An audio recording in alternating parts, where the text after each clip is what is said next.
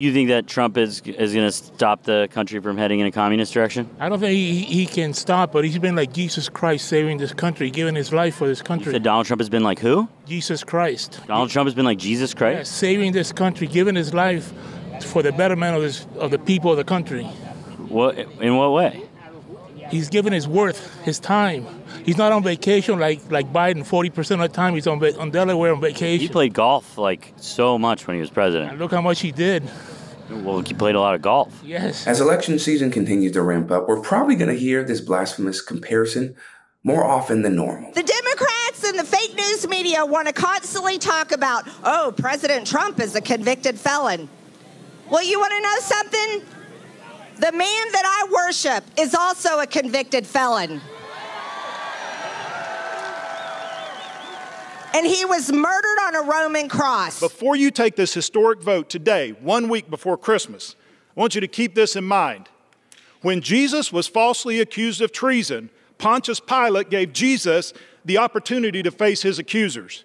During that sham trial, Pontius Pilate afforded more rights to Jesus than the Democrats have afforded this president in this process. Well, it's not entirely surprising that Republicans have sunk as low as they have with their devotion and unyielding loyalty to Trump. It is surprising to people outside of the MAGA cult and observers like us that the party of the so-called good Christian values would be this blind to their own supposed beliefs. If Jesus were a voter in, in, Iowa, who do you think he'd vote for in this next election? I'm praying that Jesus would vote for Trump because, you know, the more recently, um, I don't think Trump was a really strong believer when he entered the race in 2016 or 15, whenever. I really see his life is changing, and now when he speaks, he points people in the direction of God, and that, hey, he's not the answer, but Jesus is the answer.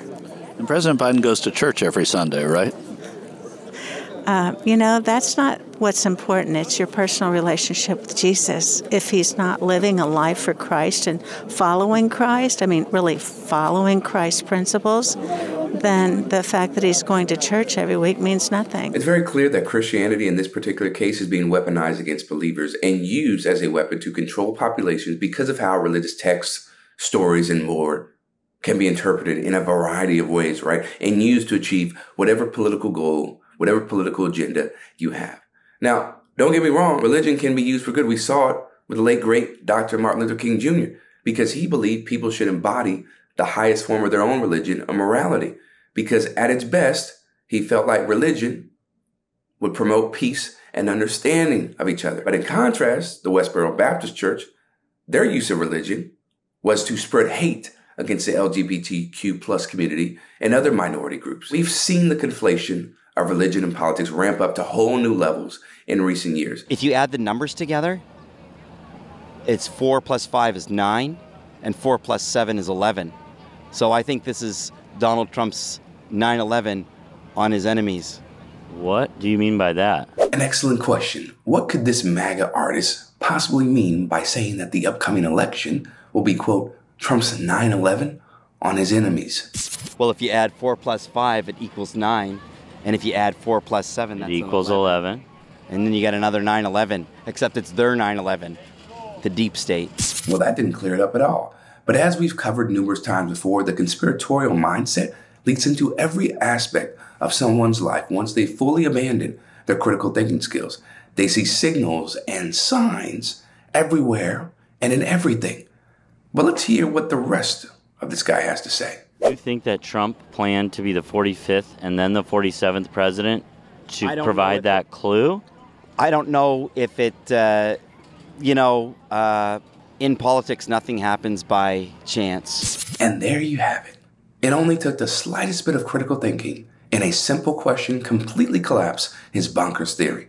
Now, it's not often that we hear MAGA use the 9 11 tragedy in such a way, but it does make me wonder if the artist is familiar with this notorious Trump clip. Well, nobody's gotten to the bottom of 9 11, unfortunately, and they should have, as to the maniacs that did that horrible thing to our city, to our country, to the world. So nobody's really been there. I've known these people for a long time in Saudi Arabia, and they've been friends of mine for a long time. Uh, they've invested in many American companies. They own big percentages of many, many American companies, and uh, frankly, What they're doing for golf is so great. What they're doing for the players is so great. The salaries are going to go way up. It's absolutely ridiculous that Trump would say this at his golf course in New Jersey, promoting the LIV Golf Tour, which is owned and operated by the Saudi Arabian government slash royal family. Because if you know anything about the Saudi Arabian government, 9-11 victims have brought a lawsuit against their government for the alleged involvement and support for the 9-11 attacks. And what's interesting here about Trump is that his words really don't align with what we expect out of someone representing the party who loves patriotism, who loves nationalism and the concept of America being a global superpower.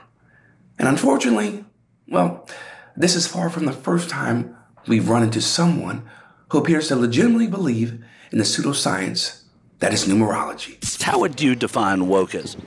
Woke Oh. is, let me woke- let me let me I'm start here. Yeah, I'll get. I, I'm not good at defining woke. Let him do that, but yeah. Woke is div- uh, accepting everything that is evil. Uh, so, for instance, monster cans. Each line represents a six. So you got 666. And then if you look on the monster can itself, uh, in the O of the monster, it has a cross and it's got, uh, uh, it, it set, represents the Antichrist. So when you drink it, you've got the cross coming down. And that's uh, So that's wokeism, sort of in a yes, nutshell. Yes, in, in a nutshell, it's accepting everything that's evil as good. That is legitimately one of the dumbest conspiracy theories I've ever heard. There are some conspiracy theories where, yes, you can understand how a person arrived at a certain point, even if you don't agree with them, but the logic isn't far off.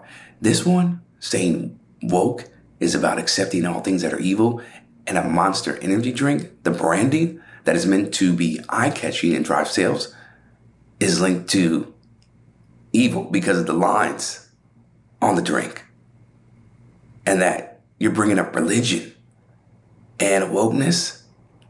How? These are the people that we're dealing with. These are the people, y'all, that are voting for Donald Trump. They, the brain cells are not on, and if they are, if they are on, they're not functioning very well. A Monster Energy drink is about evil because of the lines and they represent the Antichrist. What are we doing here? What kind of indoctrination? I just, I'm asking you just for specific. Uh, I like to graduate high school in Stevens Point. I mean, I have it on my phone. It's it's talking about gender issues and issues that shouldn't even be discussed in school, and pushing young children. If it were up to my granddaughter, she would be a dog, and they would be letting her crawl around on the floor and identify as a dog until two weeks from now. Then she'd be a cat and they're letting children transition or telling them to keep it from their parents and pushing them to get gender reaffirming care and keep it a secret from their parents. That's not school. And that's happening at school. There are cases uh, specifically. Uh, all over the United States. And we are fighting school boards left and right.